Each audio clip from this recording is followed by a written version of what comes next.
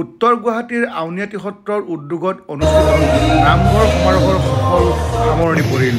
এই নামঘৰ সমাৰোহত আমি দেখিছিলোঁ যে ইয়াত আইসকলৰ নাম ঢোল বাদন বা খোল ইত্যাদি বিভিন্ন ধৰণে অতি জাক জমকভাৱে এক বৈকুণ্ঠপুৰীত পৰিণত হৈছিলে এই নামঘৰ সমাৰোহ। চাওক এই ভিডিঅ'টোত সবিশেষ।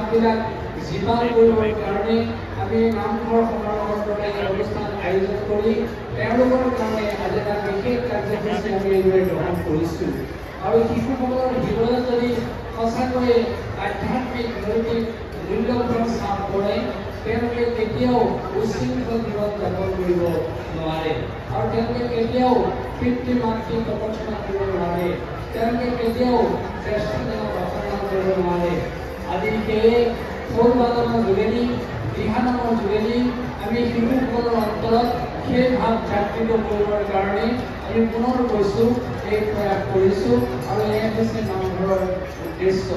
আমাৰ মাত্ৰ এটাই মিলিত অনুৰোধ যিসকল অভিভাৱক অভিভাৱক অভিভাৱিকাই ইয়াত অংশগ্ৰহণ কৰিছে। এই শিশুৰ মনস্তাত্ত্বিক দিশটোৰ প্ৰতি লক্ষ্য ৰাখি ঘৰলৈ গৈও তেওঁলোকক যাতে এনেধৰণৰ শিক্ষা প্ৰদান কৰে।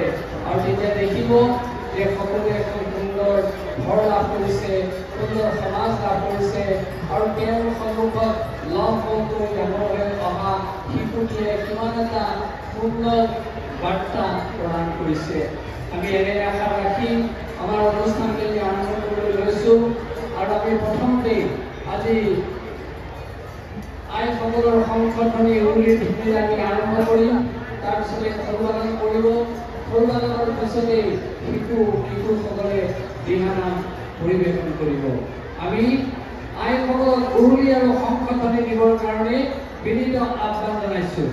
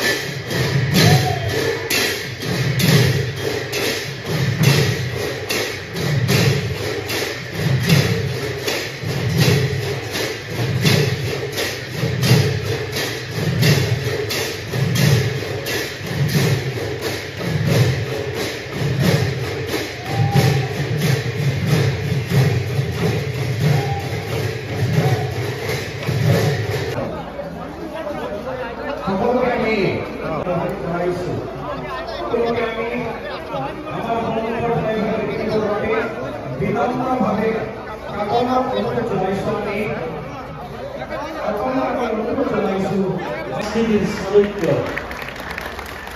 সমাজ আকাশৰ সাহায্য কৰিছে কৃষকৰ বিৰোধী এটি বেতনৰ জাতি ডক্টৰ কিতাপবৰ্দেৱ গোস্বামী তেখেতৰ ভিৰত প্ৰথম স্বৰূপে তুলি দিলে ৰজ বতাহ বৰষুণ সকলো দুৰ্যোগৰ পৰা এই বতাহে এই জাপিয়ে তেখেতক সদায় সুৰক্ষা দিব তাৰ আশীষ কৰি মেলি আমাৰ মহাপ্ৰভুগৰাকীয়ে তেখেতক প্ৰদান কৰিছে।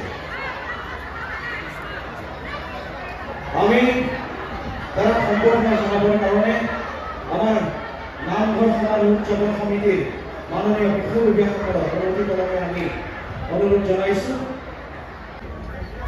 যোৱা তিনিদিন ধৰি আমাৰ উত্তৰ গুৱাহাটী এক প্ৰকাৰ বৈকুণ্ঠ পৰিলৈ পৰি পৰিণত হৈছিল। আৰু এই তিনিদিনে ৰাইজক ভক্তি ৰস উপভোগ কৰিবলৈ যি অপূৰ্ব আধ্যাত্মিক সুযোগ দিলে তাৰ বাবে মই আউনীআটী সত্ৰৰ প্ৰভু ঈশ্বৰক বহুত বহুত ধন্যবাদ কৃতজ্ঞতা আৰু সেৱা জনাইছোঁ। আমাৰ বাবে অত্যন্ত সৌভাগ্য যে ব্ৰহ্মপুত্ৰৰ নান্দনিক সৌন্দৰ্যৰে পৰিপূৰ্ণ।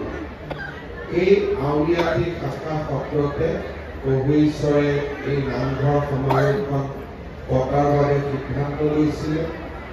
আৰু মই অত্যন্ত গৰ্বিত যে আমাৰ বিভিন্ন অসমৰ পৰা অহা অতিথিসকলক উত্তৰ গুৱাহাটীৰ ৰাইজে অত্যন্ত আদৰ সৎকাৰেৰে সৈতে আদৰিছে। আৰু তেওঁলোকক যিমানখিনি পাৰে অতিথি সেৱাৰ বাবে চেষ্টা কৰিছে। মই অসমৰ বিভিন্ন প্ৰান্তৰ পৰা অহা ভক্তবান ৰাইজকো ধন্যবাদ অভিনন্দন জনাইছোঁ। মই এই সমষ্টিৰো বিধায়ক ক'ৰবাত যদি আমাৰ অভ্যৰ্থনাত কিবা ত্ৰুটি ৰখি ৰখি গৈছে তাৰ বাবে মই সকলোৰে ওচৰত ক্ষমা মাগিছোঁ। মহাপুৰুষ শ্ৰীমন্ত শংকৰদেৱে অসমত নৱ বৈষ্ণৱ ধৰ্মৰ এটা নতুন যুগৰ সৃষ্টি কৰিছিল। মহাপুৰুষ মাধৱদেৱ হৰিদেৱ দামোদৰদেৱে অসমত এই নৱ বৈষ্ণৱ ভক্তি আন্দোলনটো সন্মুখৰ পৰা নেতৃত্ব দিছিল। মহাপুৰুষ শ্ৰীমন্ত শংকৰদেৱৰ পথ প্ৰদৰ্শনত তেখেতৰ আধ্যাত্মিক দৰ্শনক কেন্দ্ৰ কৰি অসমত গঢ়ি উঠা নৱ বৈষ্ণৱ ধৰ্মৰ আন্দোলনে সমগ্ৰ ভাৰতবৰ্ষৰ নৱ বৈষ্ণৱ আন্দোলনৰ লগত একীকৰণ হৈ কৃষ্ণ ভক্তিৰ এক অদ্ভুত জাগৰণ আমাৰ সমগ্ৰ দেশখনতে সৃষ্টি কৰিছিল মহাপুৰুষ শ্ৰীমন্ত শংকৰদেৱে এই বৰ অসমত কৃষ্ণ ভক্তিৰ যি জোৱাৰ সৃষ্টি কৰিছিল তাৰ প্ৰতিধ্বনি চাৰে পাঁচশ বছৰ পিছতো প্ৰত্যেক মুহূৰ্তে মুহূৰ্তে আমি অনুভৱ কৰোঁ। প্ৰজন্মৰ পিছত প্ৰজন্ম আহিছে কিন্তু কোনেও মহাপুৰুষ গৰাকীৰ নিৰ্মাণী এই নাম কীৰ্তনক এৰি দিয়া নাই। সমাজত বহুত পৰিৱৰ্তন হৈছে কিন্তু সেই পৰিৱৰ্তনৰ মাজতো নাম আৰু কীৰ্তনৰ যি অম্লান জ্যোতি সি পাঁচশ বছৰ আগতে মহাপুৰুষ গৰাকীয়ে যি ধৰণে কল্পনা কৰিছিল সেই ধৰণে চলি আছে। আৰু এই নাম সংস্কৃতিয়ে নাম কীৰ্তন সংস্কৃতিয়ে নৱ বৈষ্ণৱ ধৰ্মৰ লগতে অসমীয়া জাতিটো জীয়াই থকাৰ অমৃত ৰস পান কৰাবলৈ সক্ষম হৈছে। মহাপুৰুষ শ্ৰীমন্ত শংকৰদেৱে আমাক পিন্ধোৱা সংস্কৃতি অবিহনে আমাৰ অসমীয়া জাতিৰ পৰিচয় তেনেই সীমিত তেনেই ঠেক। মহাপুৰুষ গৰাকীয়ে আমাক এটা বৰ্ণিল সংস্কৃতি দি থৈ গৈছিল আৰু সেই সংস্কৃতিৰ মাজেৰে নেদেখা জনৰ লগত একাত্ম হৈ যোৱাৰ এক অদ্ভুত জ্ঞান আমাৰ মাজত এৰি থৈ গৈছে। আজি উত্তৰ গুৱাহাটীত আমি শুনা হৰি নামৰ ধ্বনিয়ে আমাৰ আত্মাক মলিনতাৰ পৰা আৰু অধিক পৰিষ্কাৰ কৰিলে আৰু আমাৰ মন অন্তৰ কৃষ্ণ ভক্তিৰে বিয়পি পৰিলে মই আশা কৰোঁ যে আমাৰ আই মাতৃসকলে অভিভাৱকসকলে আমাৰ সন্তানসকলৰ মনত এই কৃষ্ণ ভক্তিৰ জোৱাৰ তুলিবলৈ চেষ্টা কৰিব লাগে। কাৰণ যিমানেই আমাৰ পৰিয়ালত কৃষ্ণ ভক্তিৰ জোৱাৰ সৃষ্টি হ'ব সেই পৰিয়ালত কোনো ধৰণৰ অপায়ংগল অমংগল আহিব নোৱাৰে। আৰু বাহ্যিক প্ৰভাৱত আজি ডেকা শক্তি কিছু অংশ যি ধৰণে বিপথে পৰিচালিত হৈছে ড্ৰাগছ মদ আদিৰ পৰা দূৰত ৰাখিবৰ একমাত্ৰ ৰাস্তাটো হৈছে সৰুতে সন্তানৰ মাজত কৃষ্ণ ভক্তিৰ এটা জাগৰণ সৃষ্টি কৰা। যেতিয়াই সৰুতে পৰিয়ালত কৃষ্ণ ভক্তিৰ জাগৰণ হ'ব ল'ৰা ছোৱালীয়ে সংস্কাৰৰ মূল্য বুজি পাব আৰু সংস্কাৰৰ পথেৰে খোজকাঢ়ি কৃষ্ণৰ লগত একীকৰণ হ'বলৈ চেষ্টা কৰিব সিমানেই আমাৰ পৰিয়াল আমাৰ অসমখন আৰু অধিক আগুৱাই যাব। অলপ আগতে প্ৰভু ঈশ্বৰক কৈছোঁ যে সমাজত জাত পাত সংকীৰ্ণতা সেয়া ভগৱানে সৃষ্টি কৰা।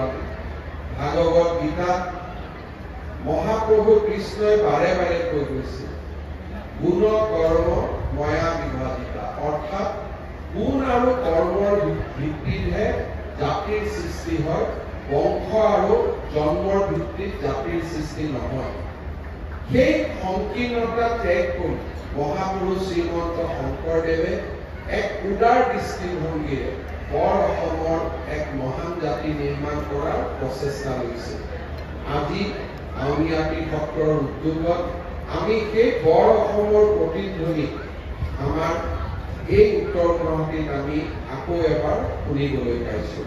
মই আশা কৰোঁ এই বৰ অসমৰ বোৱতী আগুৱাই লৈ গৈ থাকিম ইয়াক আৰু অধিক খৰস্ৰোতা কৰিম আৰু অধিক চহকী কৰিম আৰু বিশ্বৰ বুকুত সংস্কাৰ আৰু সভ্যতাৰ জয়ধ্বনিৰ মাজেৰে জ্ঞান আৰু বিজ্ঞানক সামৰি আমি এক মহান জাতি হিচাপে নিজৰ পৰিচয় দিম।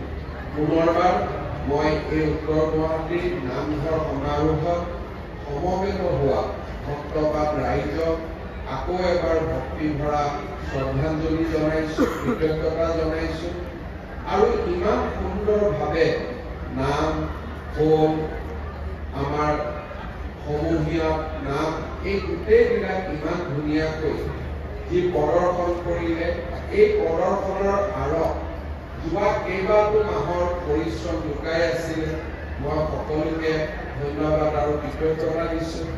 আৰু অহা বাৰলৈকে যেতিয়ালৈকে নামঘৰ আৰু এবাৰ আমি সমাৰোহ অনুষ্ঠিত নকৰোঁ তেতিয়ালৈকে সকলোকে চৰ্চা অভ্যাস সদায় চলাই ৰাখিবৰ বাবে মই অনুৰোধ কৰিম।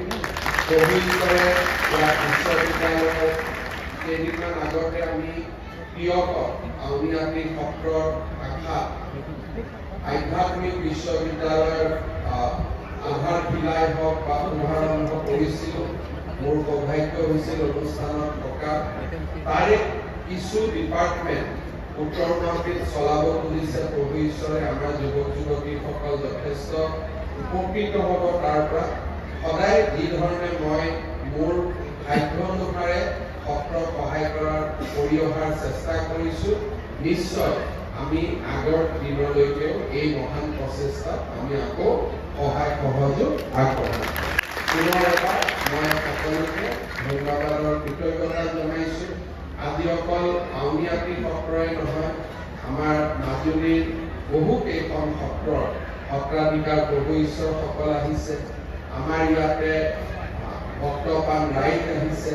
সকলোকে মই পুনৰ এবাৰ আদৰণি আৰু কৃতজ্ঞতা জনাই মই মোৰ বক্তব্য সামৰণি কৰিছোঁ ধন্যবাদ জয় গুৰু